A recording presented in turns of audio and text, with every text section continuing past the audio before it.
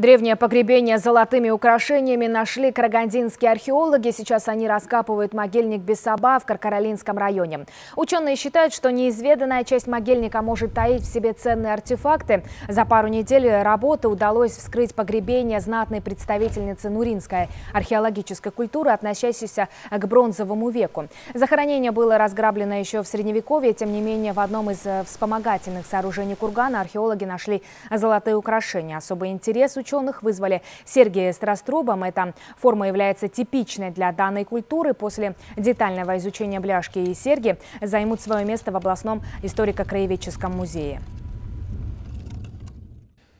Видимо, здесь были захоронены какие-то э, крупные э, вожди, возможно, племени.